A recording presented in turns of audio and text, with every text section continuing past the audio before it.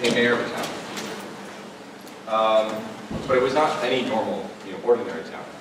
It was a town that I had drawn on the streets of my neighborhood in chalk. And this town was awesome. It had everything. Shops, schools, banks, sidewalks, police and fire brigade. And I would get all my neighborhood friends in on it, and we'd all have our own houses, and we'd make our own houses within clean, crisp property lines. It was great. It was awesome. But something was missing. I wanted to create an experience that was not only better for my villagers, aka my friends, but also make the game a little more realistic. So I set to work devising a new set of rules that I was convinced would allow my village to reach unheard of levels of prosperity. So I created a currency, established a living minimum wage, drafted a property and income tax plan, set finite parameters for the circulation of capital, and created mortgage and loan options to be offered by the local bank. It amounted to 20 pages of tense reading, which I then distributed to all my villagers. AKA my friends. So this game I, was 24 minutes long. It ended after 24 minutes because, and 24 minutes which I deemed every day to be 24 minutes long in the game. And it ended because after about 15 minutes I'd spurred on a depression uh, because of inflating capital and uh, the currency and everything. So my friends just quit and gave up. and needless to say, they never played that game again. So I really couldn't figure out why that had happened. I mean, I had created a product that I thought people would really like, that identify with, they would really use and enjoy. I invested so much time in it, and they didn't seem to really enjoy it, so I couldn't understand that disconnect. And it never occurred to me that the product I had created wasn't actually something that they were interested in using. It wasn't addressing anything they wanted. All they wanted to do was ride their scooters up and down my streets and call it a day. So in hindsight, that was probably the first flaw in my approach. And I figured out pretty early on that what might be an ideal product in my head isn't necessarily catered to what people are interested in. Which it seems like sort of like a yeah, duh concept, but you'd be amazed at how many entrepreneurs will throw something into the marketplace, not testing at all if it's going to address anything that their customers want, and end up failing. According to Bloomberg News, about 8 out of 10 startups will fail within 18 months. And while the problem is usually, you know, there are more problems in advance than just capital failure, their problems usually you know, rest on the fact that customers just don't have a connection with the product. And it happens a lot where, like I said, entrepreneurs throw a product out into the marketplace and expect the customers to actually adapt and mold their behavior to that of the product. Businesses need to constantly analyze, and question, really, if they're actually addressing what their customers want and need. And this is the only way that you're going to be able to create a business that will be legitimate, let alone survive. So with that in mind, I started a company called Radmat, which was a customized clothing line for my neighborhood in Madison, Connecticut. Um, and I wanted to create something that reflected the unique personality of the neighborhood that I was living in. These were people who I grew up with. A lot of them came from all different like places in the world and then would come together during the summer. It was almost like living with one big family. And I wanted to create something that people could not only use, but that people could identify with and use as a reflection of their, their identity. Because we all have this affinity to this neighborhood. And so I knew that the success of Rad Magic would lie in this personal aspect of the company. That's my slide. That's a. I knew that the company would, would rest on this personal connection. Otherwise, what was going to differentiate my product line from anything else? So I set to work designing a logo. I also was polling my neighbors to see sort of what they were interested in, what kind of stuff that they would be interested in, in purchasing. And I came back with functional, versatile beachwear that they could wear from the house to the beach to cocktails.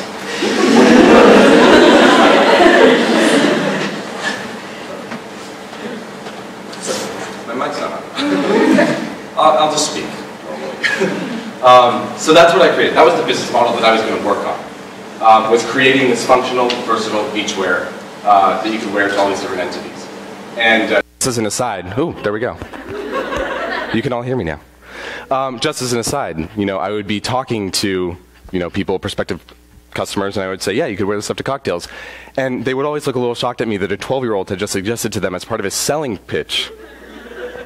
I didn't even know what cocktails were, really, so that was the angle I was going at. So I handled all aspects of the business: inventory management, sales, the marketing of it, um, and I also did, you know, the sales, the door-to-door stuff, which I hated. I hate selling door to door. Um, but I'll talk about that in a minute. When you're selling a product, it's, a, it's, it's kind of hard in hindsight. Not because of the physical aspect of actually going out and selling it. You're selling something that is such a reflection of yourself, such an aspect of your identity, um, so much a part of you. Is a, it embraces all the time and effort that you've put in to creating this product and then to have to go out there and sell it in a marketplace where money is going to quantify and qualify whether or not people appreciate your product, it's hard. It's not, you know, it, it's, it's not fun sometimes. Um, and in hindsight, it was really hard creating stuff like this and putting it out there. And I started to notice that, you know, I had created this business plan. I thought that this business model was going to work, and people weren't responding to the product. It wasn't flying off the shelves like I thought it would. And, um, you know, just to start the company in itself was difficult. My parents invested some money into it, but I also went out and had to raise money. So I did lemonade stands for like half a summer. Um, and then I had to wait. I mean, it was so far into the summer, I had to wait until the next year to actually purchase the t shirts. And I over purchased t shirts. I had like way too many t shirts. I still have some of these t shirts. if anybody wants some. For $15.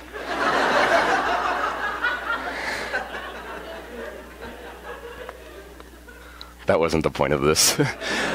um,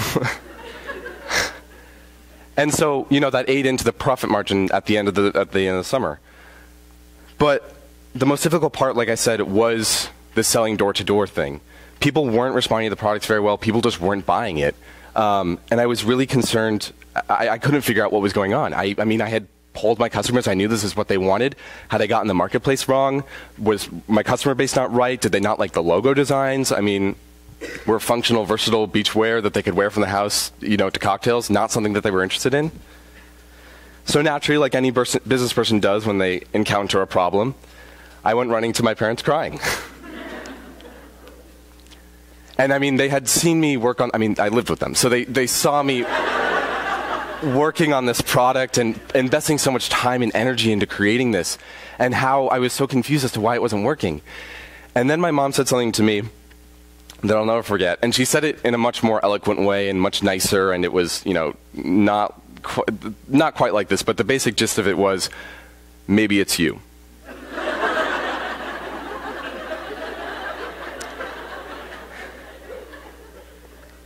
And I couldn't understand that. I could not fathom what she meant by that. I mean, why would anyone in that situation think that they're the problem in this entire scheme of things? But I figured out kind of what she was talking about. People didn't necessarily trust buying something from a kid. Especially, I mean, I worked hard to make them look legitimate, but, you know, it, it, it's hard buying from a kid. It looks kind of suspicious. So, I had to figure out how to continue selling my clothing the most effective way I knew possible, which was selling door to door which people typically find suspicious, while maintaining personal connections with my customers and appearing legitimate. So that was the next phase of this venture. So I decided what I had to do was I had to increase exposure as much as possible. I got newspaper articles, I printed out more um, posters, which I put in mailboxes and posted around um, the neighborhood. I invested $15 into my marketing campaign. Um, and I knew also at the same time as the exposure, I needed to increase uh, my skills as a salesman, which, like I said, I hated that. I really, it's one thing to create something that's a reflection of yourself, it's another thing entirely to go out, sell it, and get denied. And the anxiety of just going door to door and going up to a house and not knowing what people are going to say, and then if you get rejected, you still have another house to go to. It's incredibly difficult, especially for a kid just selling t shirts. So my most memorable sale was sort of amidst this entire fiasco of what, whatever was going on that I couldn't really comprehend. Um, when I approached the house, I had never really been there before. I didn't really know the family that well. And um, I walked up to the door, and the woman's there. And she opens the door, and she looks kind of frazzled and is not particularly happy that a kid is at her door with a beach bag full of t shirts. And she, uh, you know, I start to give my sales pitch. I'm from down the street, I'm selling t shirts. And she said, No, no, no, we're not interested, thank you. But I noticed in the house that there were three boys, you know, just in the living room, seven to 15 years old maybe. And I stuck my hand in the door right as she was closing. I said, You, you, come here, come here. She was like, she almost like hit my arm into that door. It was really awkward. She was a little shocked. The kids were really shocked. They didn't really know what was going on. And I pointed to the, to the biggest one, the largest one, the biggest kid I could see. And I said, You, you, come here, come here. Do you want a t shirt? So he comes over and he's sort of suspicious. And I'm like, and I give him this T-shirt. He's huge. He's like, he was so much taller than me. So I'd like give up this T-shirt to him. And I'm like, here, here, here. It's free. Now, if you have siblings, you know that when one sibling has something that you don't have,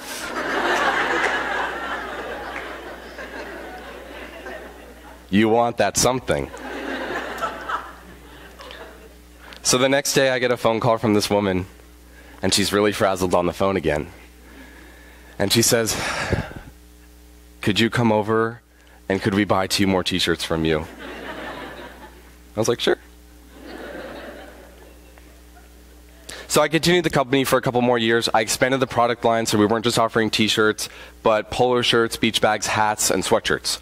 Um, and men's and women's sizes, youth, it got really complicated. And um, I expanded, so we weren't just doing it in Seaview anymore, but I was also doing it in, um, I had a general line for my town, which I called RadMad, and then another neighborhood um, nearby. But what ultimately kept me going with this was the responses that I was getting from my customers. It's, I mean, just seeing them buy it and use it is amazing. It's an amazing thing to see something you've created become, you know, part of somebody's life. Um, but it's another thing entirely when it becomes a reflection of their identity. And that's what these became. These really became a symbol of what it meant to be from these different places. And all these different people from all over the world coming together. I mean, it, I would send this stuff for Christmas in like Japan to people. It was awesome. Um, and so it was really unique to being able to, you know, create something that people so identified with. So this life experience sort of helps set the stage for Bates Art Society. BAS, which is a club I founded uh, last year here at Bates. Um, and originally it was just going to be film. We were just going to be producing and featuring student films on our website. And um, we quickly found out that that was not going to work. Um, for one thing, it's incredibly difficult producing, um, creating films on a regular basis, and then putting them on a website. And then you have to make sure that people, you know, you need to create new content so that people are coming back constantly. Um, so it was incredibly difficult. That was that was an, a difficult approach, and we quickly found out that that was not going to work. And um, when we started to talk to students and faculty and see sort of how their take was on this, we realized that there was a larger underlying issue going on. And that was that students and, and, faculty didn't feel like there was a forum for them to showcase their artwork, a reflection of their identity. People didn't feel like they had the resources outside of the art departments to, you know, venture into creations that they wanted to do because the art departments are, you know, their resources are meant for those taking art. Um, so we realized that there really wasn't a lot of opportunity for art and non-art majors to showcase and create artwork outside of the academics, which is really frustrating and kind of sad. I mean, that's a huge issue. If you can't do something that you really love to do and then show it to people, that's the whole point of how we learn. So we pivoted the club's direction and chose to focus on showcasing student artwork here at Bates, all kinds of arts and cultural events. Now we feature student artwork. We started with our website, which we launched uh, this past January. So we collect all the different artwork and upload it to our website. Um, but we also host a, num a, number of events on campus, festivals, gallery openings. We had the Parents Weekend Festival this past year, or this past um, couple of months.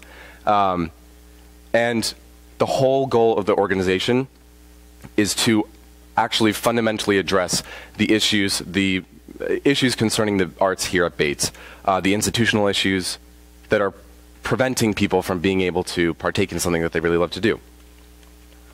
So at first, it was a bit overwhelming starting this organization. I had never really worked with a group of people before. yeah. Um, if the Chalktown was any indication of that.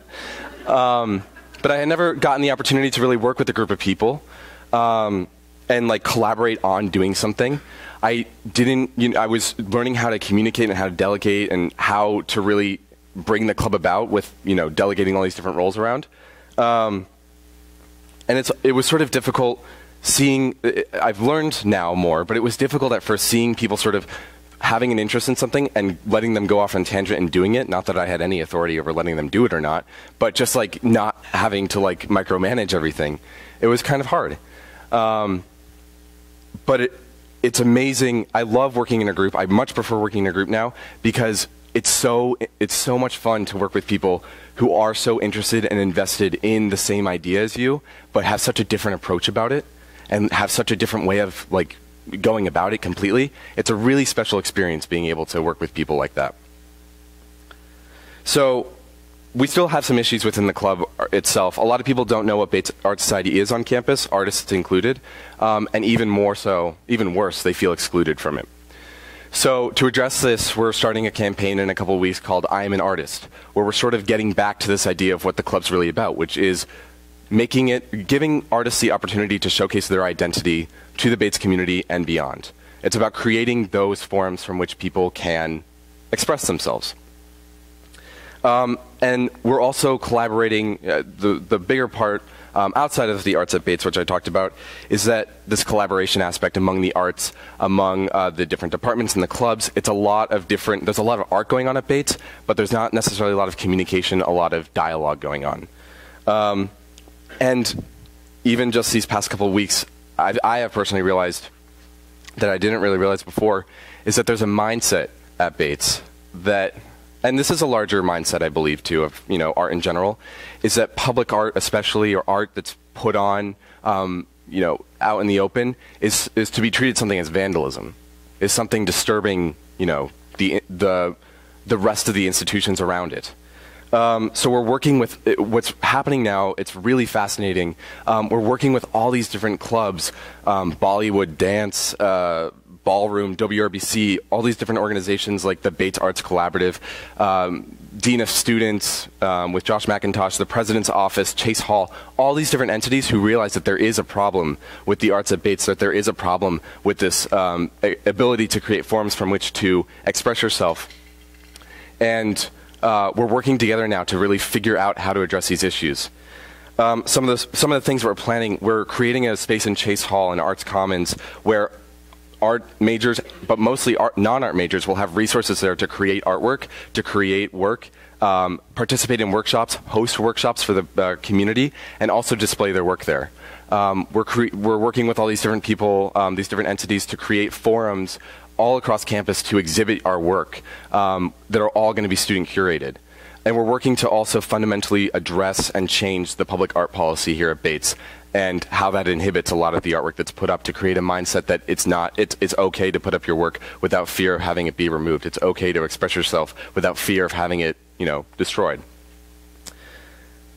it's a collaboration on a mass scale and it's really exciting to see and it's really exciting to be a part of it and I, I think it speaks volumes about the Bates community here the Bates community here that we are such a proactive campus we are such a proactive group we are willing to make changes and we will work hard to do that artists, like entrepreneurs, are creating something to be used, to be to be critiqued, to be observed. It's what they create. What they're creating is a reflection of themselves, of their identity, of their beliefs, of their aspirations, of their time. And what we're working on collaborating now with all these different groups is the same thing that I was doing when I was making that Chalktown, which is creating something that people can use, but more importantly, makes them happy. It's incredibly it's amazing to see people in a forum where they have such happiness in being able to share pieces of themselves. It's how we build relationships, friendships, and learn. Artists, humanitarian, business people, people. If you can create a forum through which people can express their identity, it's amazing the stuff you'll see and the things you'll learn. Because when you're looking at these differences and when you're sharing these differences, you find out that really there aren't many differences among us at all and that's what that's what has motivated me in doing these different ventures. Thank you.